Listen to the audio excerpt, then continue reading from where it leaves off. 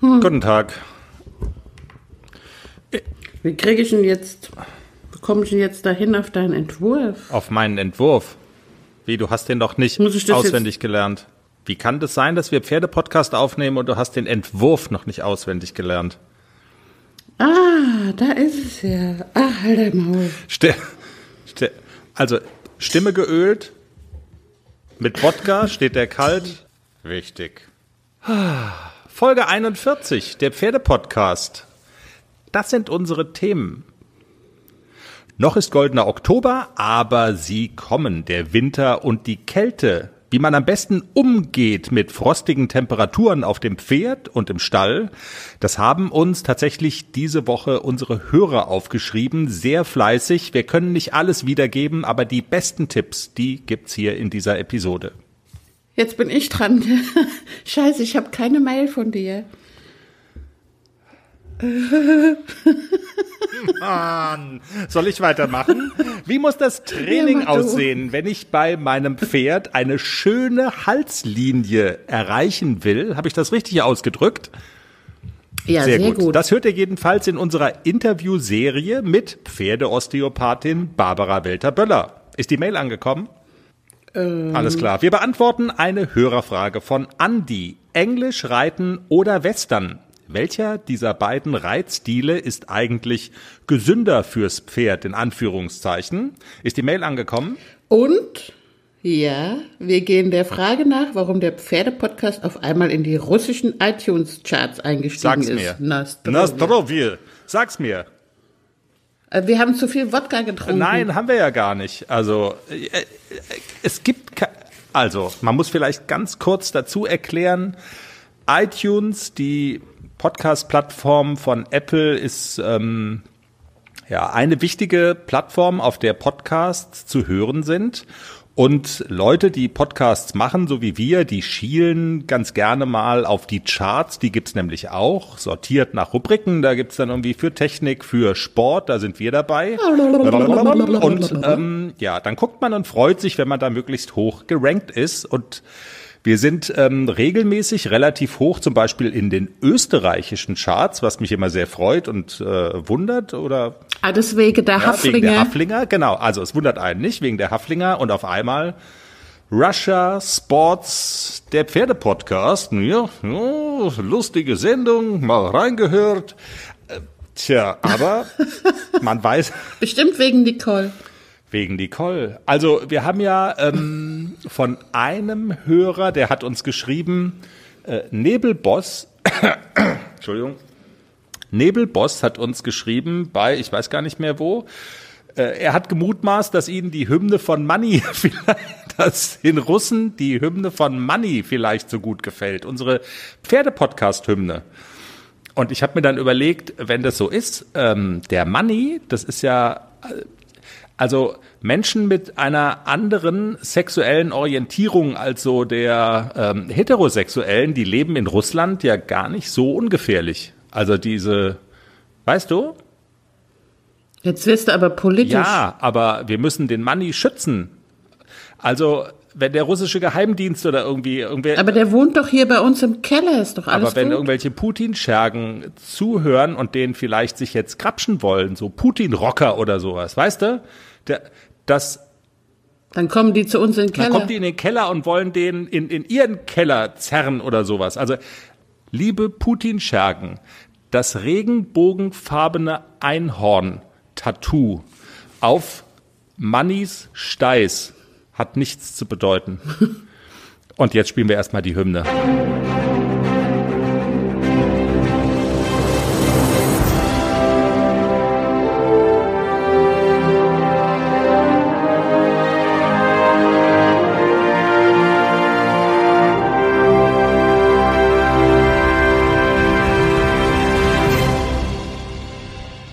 Der Pferdepodcast ist hier, Folge 41.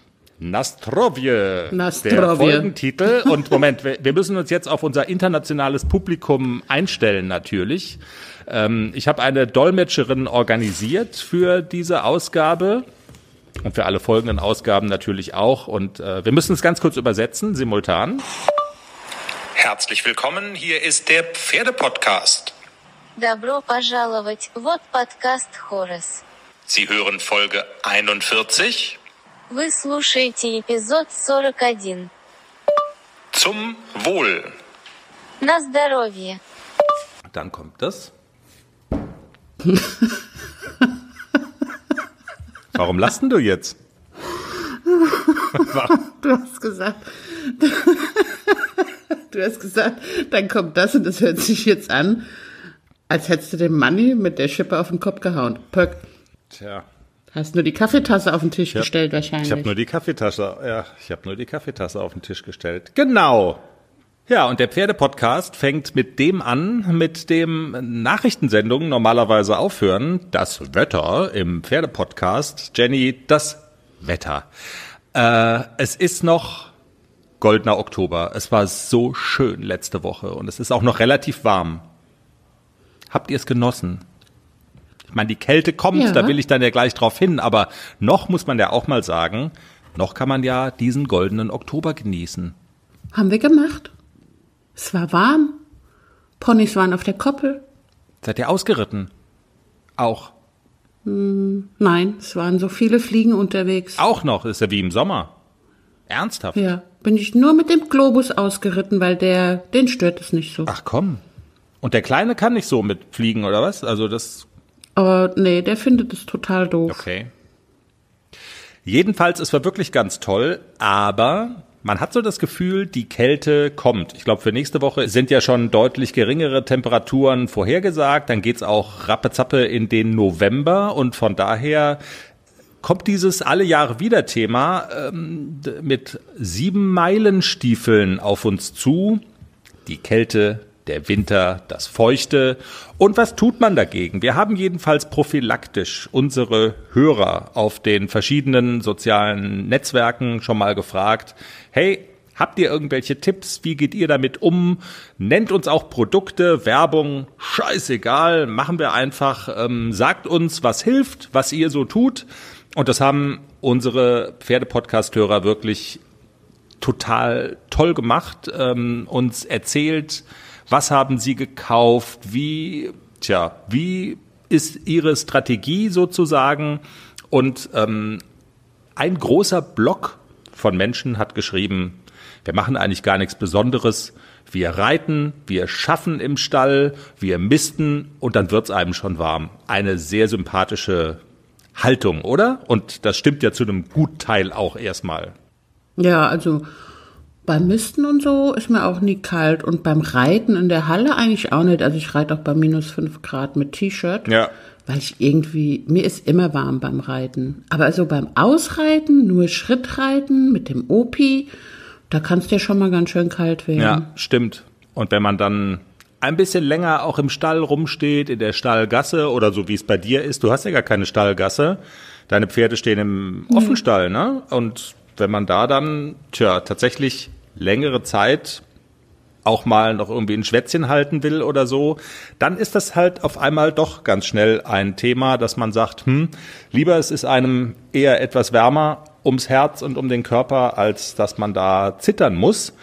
Und deshalb, wir können nicht alles abbilden, was ihr uns geschrieben habt, aber so exemplarisch die ein oder andere Mail, das ein oder andere Posting, das wollen wir gerne mal vorlesen. Wir haben auch ja, eine Auswahl zusammengestellt für euch auf unserer Homepage www.derpferdepodcast.com. Zum Teil, das muss man auch dazu sagen, sind auch ein paar Links dabei, wenn zum Beispiel spezielle Overalls oder Jacken oder Schuhe oder sonst irgendwie was ähm, erwähnt sind, äh, auf die die Hörer so richtig schwören, dann sind da zum Teil auch die Verlinkungen mitgeschickt worden und die haben wir auch auf der Seite drauf. Also das lohnt sich, lange Rede, kurzer Sinn, es lohnt sich, da mal drauf zu gucken. Lange Rede, kurzer Sinn. Sprich.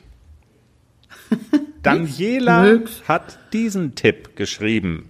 Wir gehen gerne lange ausreiten, auch im Winter. Sehr nützlich sind dabei Thermoreitstiefel, eine dickere Reithose und einen Reitrock. Mein erster war von der Firma Hommi und inzwischen nähe ich die sogar selbst. Obenrum noch eine warme Winterjacke, Schal, Handschuhe und eine Mütze oder ein Helm mit Winterpaket fürs Reiten. Zwinker-Smiley. Ein Helm mit Winterpaket. Okay, muss ich mal, muss ich mal den Gogel fragen. Den Herrn Gogel fragen. Wo es den gibt. Den Herrn Gogel. Bianca schreibt, ich hatte früher immer eine normale Softshell-Winterreithose und brauchte immer noch was Warmes darunter. Bis ich die Winterreithose von Seiler gekauft habe. Da ist sogar die Innenseite vom Leder mit Flausch. Etwas teurer, da auch Maß genommen wird, aber der Wahnsinn. Nie wieder was drunter gebraucht. Da hat sie auch den Link mitgeschickt. Genau, da steht der Link mit dabei. Und? Alles bereit für den Einzug des neuen Kätzchens? Ja, steht alles. Ich habe mich extra informiert, was ich für den Start brauche. Ein gemütlicher Schlafplatz, hochwertige Katzennahrung, viel Spielzeug, ist alles bestellt. Aha. Und woher wusstest du, was das Passende ist? Ich habe einfach auf felbi.de geschaut. Da gibt's ausgesuchte Artikel von Top-Marken aus den Bereichen Futter, Snacks und Accessoires und auch die passenden Themenwelten für Hund und Katz. Gibt da zum Beispiel einen Magazinartikel, ein Kätzchen zieht ein, heißt der. Da konnte ich genau nachlesen, was ich brauche. Das ist ja super. Dann finde ich bei Felbi vielleicht sogar Tipps für das Reisen mit dem Hund. Du weißt doch, dass Wuschel bald mit auf Wanderung soll. Auf jeden Fall. Und noch besser, bei Felbi gibt es eine große Auswahl an Outdoor-Bekleidung, auch für dich, von beliebten Marken wie zum Beispiel Fjellreven, Bergans oder Derbe, für die nächste Gassi-Runde oder eben die nächste Wanderung. Ein richtiger Lifestyle-Online-Shop für dein Tier und für dich. Spare jetzt 20% bei deinem nächsten Einkauf auf felbi.de mit dem Code AUDIO20. Alles groß geschrieben AUDIO20. Der Code ist auch auf alle Aktionen anwendbar, gültig bis 30. September 2024. Felbi, für die beste Zeit mit deinem Tier. Kiri schwört bei eisigen Temperaturen auch auf ihr Solarium. Da muss man ja dazu sagen, wohl dem, der eines hat, aber sie schreibt, wir stellen uns unter das Solarium, wenn es zu eisig wird. Ansonsten warm anziehen und Tee. Ja, und Verena sagt das, was ich ja auch schon festgestellt habe, das nützt. Klamotten für den Winter stets eine Nummer zu groß kaufen. Auf gar keinen Fall schön, aber seit Jahren bewährt. Snowboardhose in zwei Nummern größer. Darunter flauschige Jogginghose. ja, mein Sitz dankt es mir, vier Monate ohne Besatz zu reiten. Thermoshirt XL Wollpulli, XXL Anorak mit Flüschfell innen drin. Immer zu groß, dann bilden sich warme Luftschichten zwischen den Klamotten. Genau. Und dann Guter Tipp. Guter Tipp. Guter Tipp. Anke äh, schreibt, sie habe den äh, Ride, den, nein, sorry, nochmal zurück. Anke schreibt, sie habe den Reit, sag mal, bin ich denn bescheuert? Sie habe den Porsche unter den Reit-Overalls gefunden und sie postet den dementsprechenden Link dazu. Wenn ich das richtig verstehe, hat sie sich diesen Porsche aber selber gar nicht zugelegt, ähm, sondern sie hat noch einen anderen. Sie selbst habe einen für circa 180 Euro, ist ja auch noch genug Geld. Der sei mega robust. Auch da hat sie den Link dazu gepostet. Also ähm, Overalls zum Anschauen, wenn ihr mal schauen wollt, bei uns auf der Website inklusive der Links. Und Kat findet die Pads für die Schuhe gut. Die hatten wir in der letzten Sendung auch schon mal. Ich hatte die Erfahrung gemacht, dass die nach einer Stunde so bretthart werden. Aber anscheinend gibt's jetzt, ja, die sind wahrscheinlich überarbeitet worden. Das ist auch schon ewig her, seit ich die mal probiert habe. Es gibt für Jäger so einmal Pads für in die Schuhe. Die wärmen die Füße wunderbar für drei bis vier Stunden. Und dann wird einem im Rest auch warm. Also wenn sie sagt drei bis vier Stunden, dann nochmal ausprobieren. Unbedingt. Und ich habe noch die Kerstin zu bieten. Sie hat einen Tipp zu beheizbaren Einlegesohlen. Sie schreibt, ich habe mir immer bei Chibo die beheizbaren Einlegesohlen gekauft. Leider hielten die Kabel in den Sohlen, ich glaube, die kann man per USB aufladen oder so, nur einen Winter lang. Letztes Jahr habe ich mir dann die vom Lidl gekauft, die Kabel mit Panzertape an der Sohle entlang festgeklebt und das hielt dann bestens. Keine kalten Füße mehr, für den Oberkörper eine Wellensteinjacke und die ist mir manchmal sogar zu warm. Mehr Tipps bei uns auf der Seite www.derpferdepodcast.com. Vielen Dank fürs Mitmachen. Eine schöne Linie beim Hals eines Pferdes. Jenny, das ist Reitern wichtig. Richtig? Absolut, nicht allen Reitern, aber den meisten. Und die Frage ist so ein bisschen, wie kommt man dahin? Erklär doch mal, äh, wie soll's aussehen im positiven Sinne und wie sieht's manchmal aus im negativen Sinne? Ähm, ich glaube, das positive Bild ist so, also äh, es, es gibt doch das Logo. Wie das Krämer-Logo. Krämer-Logo, oder? Genau, Das ist so. Das Krämer-Logo. Genau. Ein schöner, hoher Pferdehals sozusagen. Runder, genau. Schön rund, Genick oben. Und, Schöne Oberlinie, die sich auch bis in den Rücken zieht. und wie sieht's aus, wenn's scheiße aussieht? Ich habe vor kurzem gerade ein Pferd gesehen. Also der hatte so eine Delle im Hals. Oben, nicht unten, sondern oben. Der Hals hatte so, wenn man auf dem Mähen kam, konnte man dann so wie eine Rutschbahn. Okay. So sah das Eine aus. Delle halt. Das will man auf keinen, eine Delle halt, genau. Und das will man auf keinen Fall. Und die Delle drückt sich natürlich unten mit einem Unterhals wieder raus. Muss ja irgendwo hin, die Ja, Delle. klar. Wie kommt man dahin? Wie trainiert man richtig, um das zu erreichen? Darüber haben wir gesprochen mit Barbara Welter-Böller. Sie ist Pferdeosteopathin. Und wenn ihr unseren Podcast regelmäßiger hört, dann wisst ihr ja, wir haben da so ein Ding mit Frau Welter-Böller am Laufen, eine Mini-Interview-Serie, denn sie ist Autorin des Buches die 50 häufigsten Irrtümer in der Pferdeausbildung erschienen im Katmos Verlag. Auch dazu der Link bei uns auf der Seite nochmal. Und ähm, ja, wir haben uns so die populären Irrtümer rausgesucht und besprechen das mit ihr in kleinen Häppchen bei uns in der Sendung.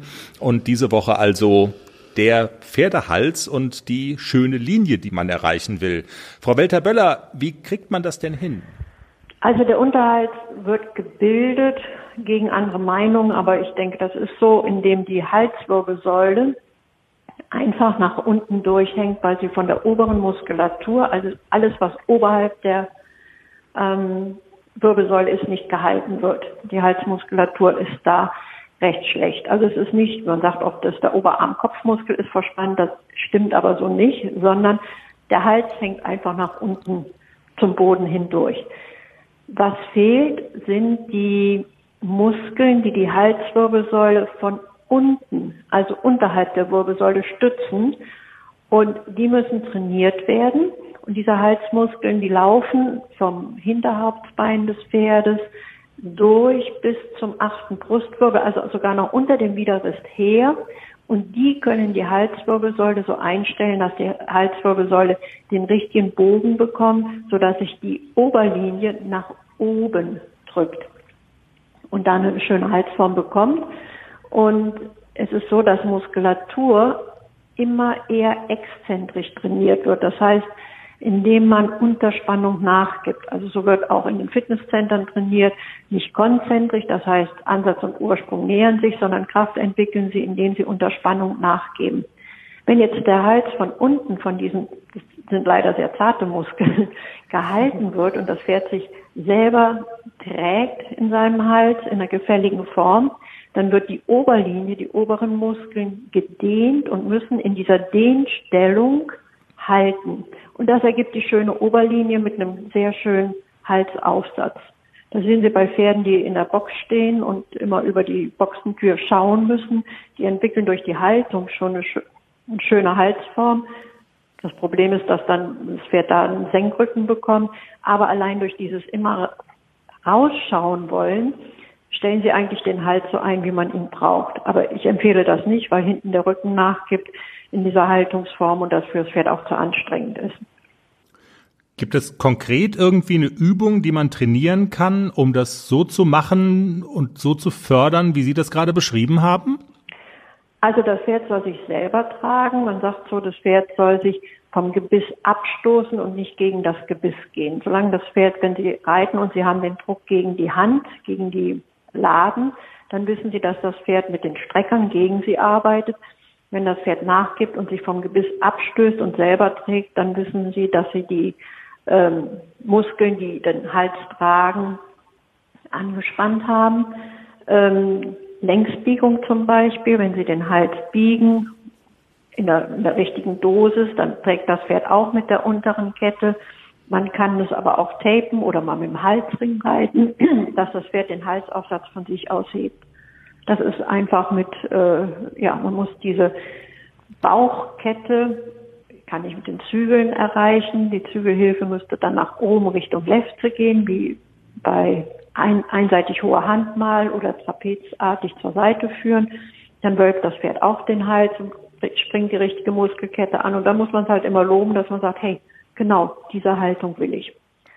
Okay. Und sonst kann man auch mit Schenkel arbeiten, ne, dass man die Bauchmuskulatur über den Schenkel aktiviert und es kann sich nach vorne fortsetzen.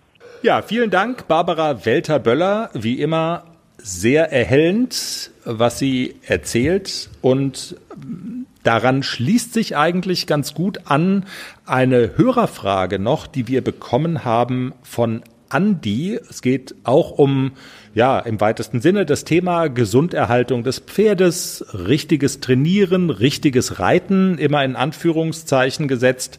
Und Andi schreibt Folgendes.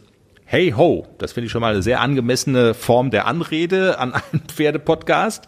Hey ho, ich hätte da mal eine Frage. Worin liegt eigentlich in Bezug auf das Pferd und dessen mögliche Schonung der Unterschied zwischen Westernreiten und klassischem englischen Reiten? Also gibt es da einen Unterschied, der möglicherweise der Gesundheit des Pferdes eher zusagt? Danke für eine Antwort. Jenny, jetzt weiß ich ja aus unseren Gesprächen die Woche so, dass du, dass dir diese Frage ein bisschen im Magen liegt. Aber trotzdem frage ich Ja. dich. Fragen wir dich, fragt Andi dich. Kann man das, kann man das überhaupt beantworten? Nee, das kann man, also das kann man nicht seriös beantworten.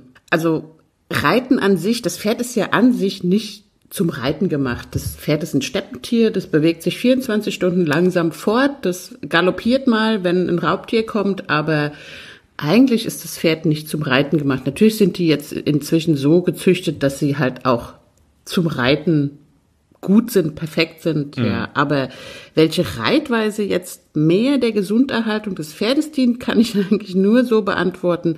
Egal welche Reitweise, richtig reiten reicht. Man sagt ja auch oft so, die Westernpferde mit ihren Spins und Stops und so, das geht so auf die Knochen. Ähm, ja, wenn ich ein Essspringpferd anschaue, ähm, das geht auch auf die Knochen, wenn das so hohe Sprünge und wenn man mal guckt, mit welcher Kraft und Gewicht die auf den Vorderbeinen landen, das ist unfassbar. Und trotzdem gibt es viele S- oder hochklassige Springpferde, die ganz alt werden, gesund ganz alt werden. Es gibt aber auch Springpferde, die ganz früh kaputt sind auf den Knochen. Genauso ist es bei den Dressurpferden, Springpferden, Westernpferden, Kutschpferden und so weiter. Also man kann das nicht pauschal beantworten, reite so, dann bleibt dein Pferd gesund. Also es ist wirklich so, es gibt, gibt ja ganz viele Bücher auch und viele gute Trainer vermitteln einem richtiges Reiten. Das Pferd soll äh, gymnastiziert werden und alle Reitweisen dienen dazu, das Pferd gesund zu erhalten, wenn man es richtig macht. Und wahrscheinlich auch mit Augenmaß, oder? Also wenn man einfach zum Beispiel zu viel trainiert im englischen Genau. Reitsport, dann ist das halt, irgendwann ist es dann eben auch nicht mehr lustig und Kringeldrehen und Pirouetten schlagen und Traversalen und wenn man das, keine Ahnung, zwei, drei Stunden mit hoher Belastung am Stück, na klar, geht es dann auf die Knochen. Und dann ist wahrscheinlich ein maßvolles Westernreiten ähm, tut dem Pferd weniger weh, in Anführungszeichen, als wenn es ein Englischreiter jetzt wissen will und komplett übers Ziel rausschießt. Naja, geht ja auch jetzt nicht nur um, um das ähm, Maß des Trainings, also wie viel trainiere ich, sondern wie trainiere ich mein Pferd.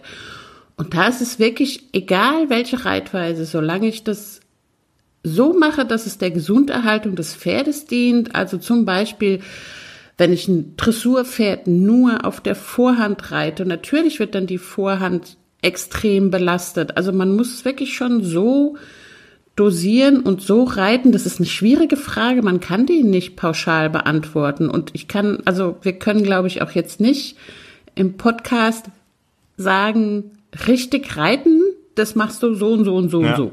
Ja ich verstehe schon. Das, Also es ist wirklich so ganz allgemein, pauschal kann, man nur sagen, das Beste, Springen ist das Beste oder Dressur ist das Beste. Also nochmal, Ingrid Klimke sagt es immer so schön, richtig reiten reicht. Und das Bemühen um ein ausgewogenes Training. Man muss auch dazu sagen, wir sind keine Tierärzte oder Osteopathen, also uns fehlt dann in der letzten Konsequenz, so fair muss man glaube ich auch sein, äh, zu sagen, das Fachwissen, weil ich sag mal so, in der, in der Theorie wäre es bestimmt möglich zu sagen, äh, man hat Reiter und die bemühen sich um ein ausgewogenes Training und machen das alles optimal, Englisch, Western, Springen. Und wenn das alles optimal ist und man zieht dann einen Strich drunter, und dann kann man bestimmt auch irgendwie dahin kommen und sagen, das eine ist aber noch gesünder als das andere in Anführungszeichen. Aber am Ende des Tages ist es dann, glaube ich, auch eine theoretische Diskussion, die einem nicht so richtig weiterhilft.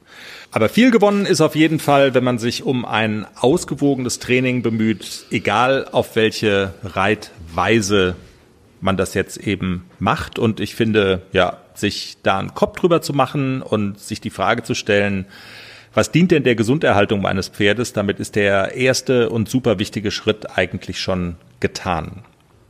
Ja. Ja, damit also ein Strich unter die Hörerzuschriften. ACDC hat die Woche nicht so furchtbar viel gemacht, hat den goldenen Oktober genossen. Hm, ich habe noch mal eine Frage zu ACDC, Jenny. Und zwar hast du ein Video gepostet über den Pferde-Podcast-Account bei Facebook und bei Instagram, wo die beiden Herzchen ACDC und der Opi Globus zu sehen waren. Und das war so merkwürdig. ACDC frisst aus einer Schüssel und ähm, man hat so das Gefühl, Globus schmust ihn gleichzeitig und legt die Ohren an und schubst ihn weg. Äh, was haben die denn eigentlich da am Laufen? Also, wenn man das jetzt mal so als, als Ehepaar betrachten würde, wie sind die denn so drauf? Wie stehen die eigentlich zueinander? Müssen die in eine Paartherapie? Also die sind so ein bisschen wie wir. Du bist Globus, ich bin ACDC. Ja, sehr. Der Globus regt sich immer künstlich auf. Komm mir bloß nicht zu nah. Und der AC ist immer so, ach, der Olle, was der wieder hat, der soll sich mal nicht so anstellen. Also AC reagiert immer ziemlich cool. Globus ist manchmal so, geh weg jetzt und ich kann dich nicht leiden, aber geh nicht zu weit weg, weil ich liebe dich ja doch. Okay, also Liebe, Hass, äh, Liebe, Zuneigung, Abneigung, es, es wogt so hin und her, hat man so das Gefühl, oder? Also Absolut. Schmusen und mit angelegten Ohren, Wahnsinn. Ja, und ACDC ist eindeutig die coolere Socke. Also wenn ich mit Globus weggehe, er wird noch nicht mal mehr. Also er kann gut alleine bleiben. Der Offenstall ist ja so ein bisschen, die haben zwar Sichtkontakt zu anderen Pferden, aber es ist doch immer so dieses, wenn einer weggeht, dann ist der andere verlassen. Globus weint inzwischen viel, viel mehr als ACDC. Also der schreit auch nach uns und der wird und dann kommt er wieder. Okay. So kenne ich das Pferd gar nicht. Also der war immer sehr autark und der war nie so, dass er an anderen Pferden gehangen hat. Aber den AC, ich glaube, den liebt er wirklich so von Herzen. Er kann es nur immer nicht so zeigen. Also du meinst, er liebt ihn auch, obwohl die Ohren angelegt sind, manchmal. Ja, ja, er liebt ihn heiß und innig. Okay.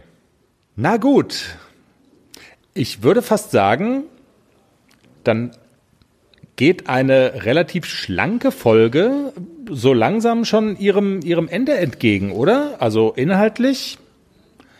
Also wir haben noch den Sprachkurs für oh. Dressurreiten in Russland. Stimmt, und überhaupt, es fehlt ja auch noch, ähm, richtig, wir müssen uns jetzt mal um unsere russischen Hörer eigentlich kümmern. Die Frage ist ja, also das mit der Hymne von Money, das haben wir ja schon besprochen, dass die die wahrscheinlich mögen. Aber die Frage ist ja auch so ein bisschen, verstehen die eigentlich die Nicole Weidner Gags? Also wir müssen das vielleicht ja, das, ihr, ihr wisst, das ist die Europameisterin, die äh, sich dreimal verritten hat in einer S-Dressur und abgeklingelt wurde und über die wir uns regelmäßig lustig machen. Ähm, verstehen die das überhaupt? Und müssen wir die Gags vielleicht so ja, anpassen? Würde ich schon sagen, weil also es wäre ja schon auch gut, wenn in Russland das auch populär, bekannt populär werden würde. Wird, das ja. also dreimal verritten in der S-Dressur, also das ist ja wirklich so spektakulär, ja. das müssen die Russen auch Was wissen. ist der Unterschied zwischen so einem sibirischen Steppenkosakenreiter, der zweieinhalb Flaschen Wodka intus hat Und Nicole Weidner. Keiner. Sind beide orientierungslos. Nein, der Kosake verreitet sich nicht. Sch- Schätzchen, das ist doch ein Brüller. Der Kosake verreitet sich nicht. Äh, Sie lacht noch nicht mal, ich drehe durch. Also wir, wir machen erstmal auf Grundlagen schaffen jetzt ähm, und erklären den Russen noch mal ganz kurz, äh, was es mit Nicole Weidner eigentlich auf sich hat. Europameisterin Nicole Weidner Чемпионка Европы Николь Вайднер. hat sich in einer S-Dressur Было вас выездки. dreimal verritten. Mann, Mann, Mann. Трижды предал мужчину, мужчину, мужчину. Als hätte sie jede Menge Wodka getrunken. Как будто она выпила много водки. Putin ist doof. Putin tupoi. Das war Russisch. Wie in der Sendung mit der Maus. genau.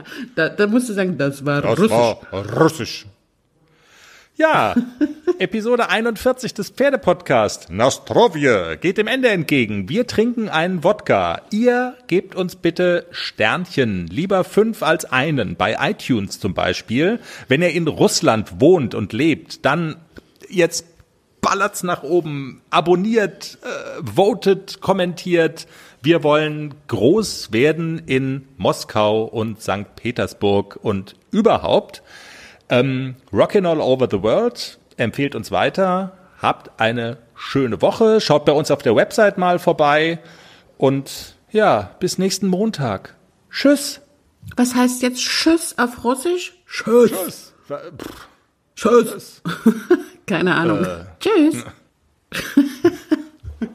Warte mal, finden wir das jetzt noch raus? Was, was Tschüss auf Russisch heißt? Ich habe ja diesen Google-Übersetzer. Moment. Do si do si vidania. Tschüss. До свидания. Do si vidania. До свидания. Weißt du, Lesen kann man das nicht. Du musst den Google fragen, Tschüss auf Russisch Aussprache. Dann kommt die Lautschrift mit, weil wenn nur das Wort das kannst du gar nicht lesen. Also man muss es mit Aussprache. Und dann heißt es Do si vidania. Tschüss. До свидания. Do si vidania. Und mein Tschüss hast du jetzt nicht. Doch, das hast, machst du auch rein. Du hast jetzt ungefähr 100 Mal Tschüss gesagt, oder? Do si vidania. genau. Genau.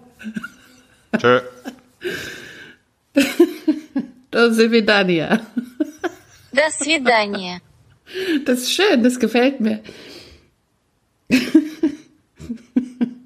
До свидания. Ja. Tschüss.